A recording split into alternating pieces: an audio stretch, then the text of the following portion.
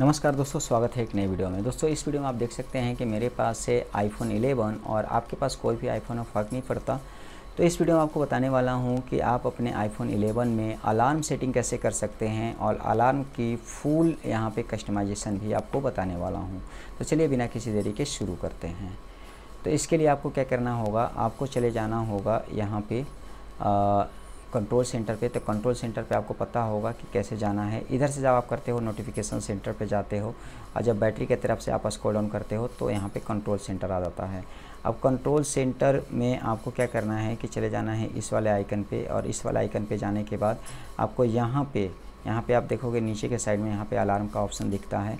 या फिर आप चाहो तो कंट्रोल सेंटर कस्टमाइजेशन वाली वीडियो देख करके अलार्म को डायरेक्टली सेट कर सकते हो अपने कंट्रोल सेंटर में और डायरेक्ट अलार्म का यहाँ पे आइकन दिख जाएगा ओके तो आप इस तरह से यहाँ पे जाओगे जब तो आपको यहाँ पे अलार्म दिखेगा। अलार्म पे क्लिक करने के बाद आपको यहाँ पे प्लस का आइकन दिखेगा प्लस के आइकन पे जाओगे और यहाँ से आपको टाइम सेलेक्ट कर लेना है। जैसे कि मैं सेवन सात बजे का या फिर नौ बजे का अलार्म चाहता हूँ और इसके बाद यहाँ पे मैं ज़ीरो ज़ीरो कर देता हूँ या नाइन नाइन थर्टी कर देता हूँ। इसके बाद एम और पीएम का ऑप्शन आ जाएगा। तो सुबह के समय को एम बोलते हैं इवनिंग के समय को पीएम बोलते हैं। तो सुबह में चाहता हूँ तो एम रख देता हूँ। अब यहाँ पे रिपीट का ऑप्शन आ रहा है। रिपीट का मतलब होता है कि किस किस दिन आपको अलार्म चाहिए। जिस दिन जिन चाहिए, उस उस दिन के लिए आप यहाँ पे चिकमा कीजिए। तो मुझे सिर्फ़ यहाँ पे संडे संडे को चाहिए होता है। या मान के चलो ये तीन दिन चाहिए होता है तो तीन दिन को सेलेक्ट कर देता हूँ।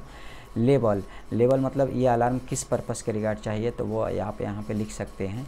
लिखने के बाद डन कर सकते हैं। इसके बाद साउंड यानी कि जो ये अलार्म सेट कर रहे हो इसकी साउंड कैसी होनी चाहिए और वाइब्रेशन कैसी होनी चाहिए। तो पहले वाइब्रेशन को हम यहाँ से सेलेक्ट कर लेंगे, जैसे हार्ट बीट वाला मुझे काफ़ी पसंद है।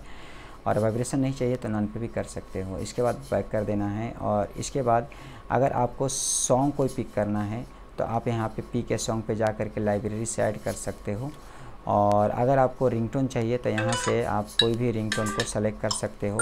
तो मैं यहाँ से कोई भी एक रिंगटोन को सेलेक्ट कर लेता हूँ। जैसे ये वाला पसंद आ रहा है तो ये मैं सेलेक्ट कर लेता हूँ और इसके बाद सेव कर दूँगा। तो इस तरह से आपका अलार्म सेव हो जाएगा, ठीक है? अगर अलार्म को आपको ऑफ़ करना है, जैसे कि पहले से अलार्म लगा हुआ है तो इसके लिए भी आपको क्या करना है? कंट्रोल सेंटर में जाना है, यहाँ पे चले जाना है, इसके बाद अलार्म पे चले जाना है अलार्म को ऑफ़ कर देना है। अब मान के चले अलार्म को पूरा डिलीट करना है आपको।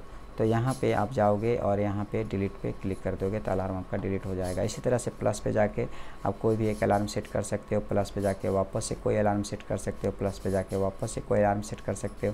तो इस तरह से आप अलार्म सेट कर सकते हो डिलीट कर सकते हो ऑफ़ कर सकते हो। तो आई होप गाइज़ की वीडियो आपको पसंद आया। वीडियो पसंद आया तो लाइक शेयर सब्सक्राइब ज़रूर कीजिएगा। तो चलिए मिलते हैं एक नेक्स्ट वीडियो के साथ। तब तक के लिए नमस्कार।